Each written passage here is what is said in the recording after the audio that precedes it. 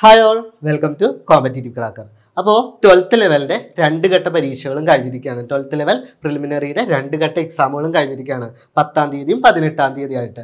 പത്താം തീയതി എക്സാം കഴിഞ്ഞപ്പോൾ തൊട്ട് കുട്ടികൾ ചോദിക്കുന്നുണ്ട് എത്രയായിരിക്കും കട്ട് ഓഫ് എന്നൊക്കെ നമുക്ക് മെസ്സേജുകൾ വഴിയും കമന്റ് വഴിയും കോൾസ് ഒക്കെ ആയിട്ട് ഒരുപാട് പേര് നമ്മളോട് ചോദിക്കുന്നുണ്ട് കട്ട് ഓഫ് എത്രയായിരിക്കും?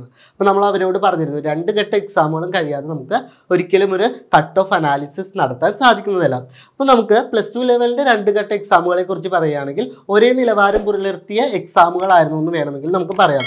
അതായത് ഒന്നാം ഘട്ടവും രണ്ടാം ഘട്ടവും അതിന്റെതായ നിലവാരം എന്ത് ചെയ്തിരുന്നു? പുലർത്തിയിരുന്നു. കമ്പയർ ടു ടെൻത്ത് ലെവൽ എക്സാമിനെ വെച്ച് നോക്കുമ്പോൾ ഈ രണ്ട് എക്സാമുകളും ഒരേ നിലവാരത്തിലുള്ളതായിരുന്നു. അല്ലെങ്കിൽ ഒന്നാം ഘട്ടത്തിനേക്കാൾ കുറച്ച് ഉയർന്ന നിലവാരം പുലർത്തിയതായിരുന്നു രണ്ടാം ഘട്ട എക്സാം അതുകൊണ്ട് തന്നെ നമുക്ക് ഓരോ കട്ട് ഓഫുകളെ കുറിച്ച് നമുക്കൊന്ന് അനലൈസ് ചെയ്യാം. നമ്മുടെ ഈ കട്ട് ഓഫ് എന്ന് പറയുന്നത് നമുക്ക് കിട്ടിയ ഡേറ്റാസിനെ അനലൈസ് ചെയ്ത് നമ്മൾ പറയുന്ന ഒരു കട്ട് ഓഫ് ആണ്. അതുകൊണ്ട് തന്നെ ഇതൊരു അന്തിമ കട്ട് ഓഫ് ഒന്നുമല്ല പി എസ് സിയുടെ ആയിരിക്കും അന്തിമ കട്ട് ഓഫ് ആയിട്ട് വരുന്നത് നിങ്ങൾക്കറിയാം. അപ്പോൾ ഇത് നമ്മുടെ ഒരു ഏകദേശം നമ്മൾ പ്രതീക്ഷിക്കുന്ന ഒരു കട്ട് ഓഫ് മാത്രമാണ് പ്രതീക്ഷിക്കുന്ന കട്ട് ഓഫ് ആണ്. അപ്പോൾ നമുക്ക് ഓരോന്നായിട്ട് നോക്കാം. ഇതിൽ മെയിൻ ആയിട്ട് നടന്നിരുന്നത് പോലീസ് കോൺസ്റ്റബിൾ ആണ്. അപ്പോൾ പോലീസ് കോൺസ്റ്റബിൾ പോലീസ് കോൺസ്റ്റബിൾ എന്ന് പറയുമ്പോൾ നമുക്കറിയാം ഏഴ് മേഖലകളായിട്ടാണ് എക്സാം നടക്കുന്നത്. അതിൽ ഏഴ് മേഖലകളായിട്ടാണ്. അപ്പോൾ അതിന്റെ ഇരുപത്തഞ്ച് മുതൽ മുപ്പത്തഞ്ച് വരെയായിരിക്കും ഈ ഏഴ് മേഖലകളിലും കട്ട് ഓഫ് വരാനെന്നാണ് നമ്മൾ പ്രതീക്ഷിക്കുന്നത്. കാരണം ഇതിൽ ഈ മുപ്പത്തഞ്ച് വരുന്നത് ട്രിവാൻഡ്രം ഉൾപ്പെടുന്ന എസ് സി പിയിലായിരിക്കും അതുപോലെ തന്നെ K A P four K A P ഫൈവിലൊക്കെ നമ്മുടെ ഇടുക്കി കോട്ടയം അതുപോലെ തന്നെ വയനാട് കാസർഗോഡ് കണ്ണൂർ ജില്ലകളിലൊക്കെ കട്ട് ഓഫ് ഇരുപത്തഞ്ചിനോട് അടുത്തേ ഉണ്ടാവുള്ളൂ. അപ്പോൾ ഇത് കട്ട് ഓഫ് എന്ന് പറയുന്നത് ഈ ഏഴ് ഘട്ട അതായത് ഏഴ് മേഖലകളിലും വ്യത്യസ്തമായ കട്ട് ഓഫുകളായിരിക്കും ഇപ്പോൾ പോലീസ് കോൺസ്റ്റബിളിന്റെ കട്ട് ഓഫ് ഏകദേശം ഇരുപത്തഞ്ചിനും മുപ്പത്തഞ്ചിനും ഇടക്കായിരിക്കും അതിൽ ഞാൻ പറഞ്ഞതുപോലെ തന്നെ എന്താ കോട്ടയം ഇടുക്കി കാസർഗോഡ് കണ്ണൂർ വയനാട് ജില്ലകളിലൊക്കെ കട്ട് ഓഫ് തീരെ കുറവ് വരാൻ തന്നെയാണ് സാധ്യത. അടുത്തത് വരുന്നതെന്ന് പറഞ്ഞാൽ ഫയർമാൻ ആണ്. ഫയർമാനെ കുറിച്ച് പറയുകയാണെങ്കിൽ ഫയർമാൻ എന്താ? ഒരു സ്റ്റേറ്റ് വൈഡ് ആയിട്ട് നടക്കുന്ന എക്സാം ആണ്. അല്ലെ? സ്റ്റേറ്റ് വൈഡ് എക്സാം ആണ്. അതുകൊണ്ട് തന്നെ മുപ്പത്തഞ്ചിനും നാൽപ്പത്തഞ്ചിനും ഇടയ്ക്കാണ് കട്ട് ഓഫ് വരാൻ സാധ്യത. അതൊരു സ്റ്റേറ്റ് വൈഡ് എക്സാം ആയതുകൊണ്ടാണ്. അതുകൂടാതെ ഇതിൽ എന്താ? ഫിസിക്കൽ ടെസ്റ്റ് ഉണ്ടല്ലേ? ഈ രണ്ട് എക്സാമുകൾക്കും ഫിസിക്കൽ ടെസ്റ്റ് ഉള്ളത് തന്നെയാണ്. പക്ഷേ ഇതിലെന്താണ്? ഇതിലൊരു കാര്യം കൂടി ഉണ്ട് എന്താ? നീന്തൽ കൂടി അറിഞ്ഞിരിക്കുന്നവർക്കാണ് ഫയർമാൻ അപ്ലൈ ചെയ്യാൻ പറ്റുള്ളൂ. അപ്പോൾ ഫയർമാനിലും ഒരുപാട് എലിമിനേഷൻസ് ഒക്കെ ഫിസിക്കൽ ടെസ്റ്റൊക്കെ കഴിഞ്ഞ് കഴിയുമ്പോൾ വരാനുള്ളതാണ്. അതുകൊണ്ട് തന്നെ ഇതിന്റെ ഫയർമാന്റെ കട്ട് ഓഫ് ഒരു മുപ്പത്തഞ്ചിനും നാൽപ്പത്തഞ്ചിനും ഇടക്കായിരിക്കും വരാൻ സാധ്യത.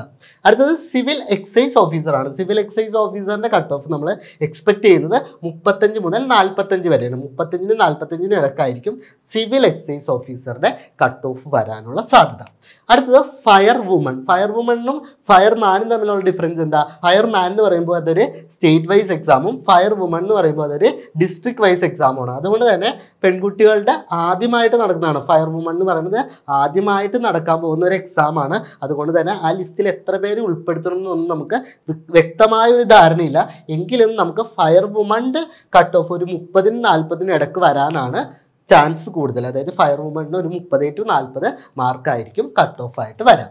ഇനി സി പി ഒ വുമൻസ് പെൺകുട്ടികളെ സംബന്ധിച്ചിടത്തോളം ഏറ്റവും കൂടുതൽ നോക്കുന്ന ഫോഴ്സിലേക്കുള്ള ഒരു എക്സാം തന്നെയാണ് സി പി ഒ വുമൻസ് എന്ന് പറയുന്നത്. അതിന്റെ കട്ട് ഓഫ് ഒരു മുപ്പത്തഞ്ചിനും നാൽപ്പത്തഞ്ചിനും ഇടക്കായിരിക്കും വരാൻ സാധ്യത. ഒരു മുപ്പത്തഞ്ച് ടു നാൽപ്പത്തഞ്ചിന്റെ ഇടയ്ക്ക് കട്ട് ഓഫ് വരാനാണ് സാധ്യത. അടുത്തത് ഇൻസ്പെക്ടിങ് അസിസ്റ്റന്റ് ആണ്. ഇൻസ്പെക്ടിങ് അസിസ്റ്റന്റിനെ കുറിച്ച് പറയുകയാണെങ്കിൽ എന്താ?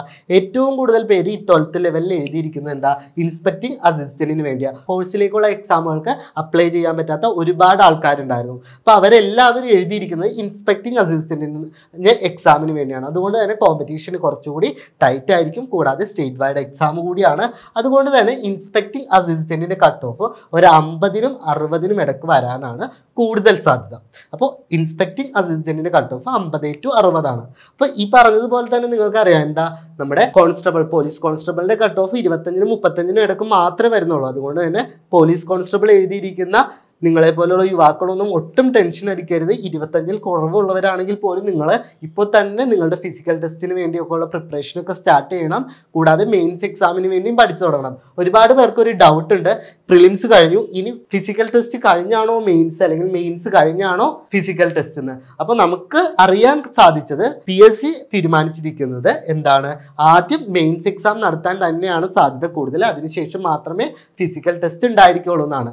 അപ്പോൾ നിങ്ങൾ എല്ലാവരും ചെയ്യേണ്ടത് എന്താണെന്ന് വെച്ചാൽ നിങ്ങൾക്ക് ഈ പറഞ്ഞ മേഖലകൾ അതായത് ഈ ഒരു ലെവൽ റേഞ്ചിൽ നിങ്ങൾക്ക് മാർക്കുകൾ ഉണ്ടെങ്കിൽ തീർച്ചയായിട്ടും നിങ്ങൾ ഫിസിക്കലിനും അതുപോലെ തന്നെ മെയിൻ എക്സാമിനും വേണ്ടി ഒരുപോലെ പഠിച്ചു തുടങ്ങുക. മെയിൻ എക്സാമിന് വേണ്ടി ഇപ്പോഴേ പ്രിപ്പറേഷൻസ് സ്റ്റാർട്ട് ചെയ്യുക. നിങ്ങൾക്ക് എല്ലാവർക്കും നേടിയെടുക്കാവുന്നത് മാത്രമേ ഉണ്ടാവുള്ളൂ ഫോഴ്സിലേക്കുള്ള എക്സാമുകൾ ഫോഴ്സിലേക്കുള്ള എക്സാമുകൾക്കൊക്കെ നമുക്ക് എളുപ്പത്തിൽ തന്നെ ജോലി കിട്ടാൻ സാധ്യത കൂടുതലുള്ളതാണ്. അതുകൊണ്ട് തന്നെ നിങ്ങൾ എല്ലാവരും എന്ത് ചെയ്യണം? മെയിൻസിന് വേണ്ടി പഠിച്ചു തുടങ്ങുക. കൂടാതെ ഫിസിക്കൽ ട്രെയിനിങ് കൂടി സ്റ്റാർട്ട് ചെയ്യുക. നിങ്ങൾ ജസ്റ്റ് ഓടാൻ പോവുക അല്ലെങ്കിൽ രാവിലെ എഴുന്നേറ്റ് കുറച്ച് നടക്കുക. ഒട്ടും എക്സസൈസ് ഒക്കെ ചെയ്യാത്ത കുറച്ച് പേരുണ്ടാവും. അപ്പോൾ അവർക്ക് നിങ്ങളുടെ ഫിസിക്കൽ എബിലിറ്റി കുറച്ചും കൂടി കൂട്ടാൻ വേണ്ടി വേണ്ട കാര്യങ്ങൾ കൂടി ഇപ്പോഴേ തൊട്ട് സ്റ്റാർട്ട് ചെയ്യുക കുറച്ച് ഈ ഒരു റേഞ്ചിൽ നിങ്ങൾക്ക് ഈ പറഞ്ഞിരിക്കുന്ന റേഞ്ചിൽ മാർക്ക് ഉണ്ടെങ്കിൽ തീർച്ചയായിട്ടും നിങ്ങൾ അതിനു വേണ്ടിയുള്ള പ്രിപ്പറേഷൻ സ്റ്റാർട്ട് ചെയ്തിട്ടുണ്ടാവണം.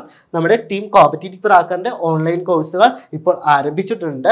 നമ്മുടെ മൊബൈൽ ആപ്ലിക്കേഷൻ വഴിയാണ് നമ്മുടെ ക്ലാസ്സുകൾ പ്രൊവൈഡ് ചെയ്യുന്നത്. റെക്കോർഡഡ് ക്ലാസ്സുകളായിരിക്കും കൂടാതെ സൂം ലൈവ് സെക്ഷനുകൾ ഉണ്ടായിരിക്കും വീക്കിലി മോഡൽ എക്സാമുകൾ ഉണ്ടായിരിക്കും അപ്പോൾ ഇതൊക്കെയാണ് നമ്മളുടെ കോമ്പറ്റേറ്റീവ് ക്രാക്കറിന്റെ ക്ലാസ്സുകളുടെ പ്രത്യേകതകൾ അപ്പോൾ കൂടുതൽ വിവരങ്ങൾക്ക് വേണ്ടി സ്ക്രീനിൽ കാണുന്ന നമ്പറിൽ കോൺടാക്ട് ചെയ്യുക. താങ്ക്